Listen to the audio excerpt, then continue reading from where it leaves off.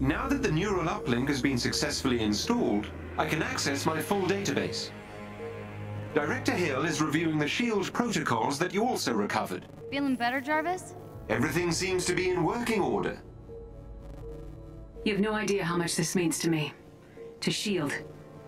Thank you, Bruce. You too, Kamala. With this, I can start rebuilding S.H.I.E.L.D. in earnest. If you ever need anything, give me a call. I'm sure we'll be seeing a lot more of each other.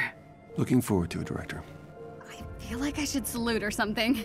No, no need for that. Good luck, both of you. Jarvis, you think you can get us Tony? This will take some time, but I should be able to find Mr. Stark. In the meantime, I've uncovered something that might be of interest to Ms. Khan in the HARM room. The what now? The holographic augmented reality machine. Something the Avengers use for training. Whoa, that sounds awesome. I should warn you, the system may be a little irregular. Is this safe? Only 0.0001% chance of injury. Uh... Okay. I trust you. I guess. Proceed through the crew quarters.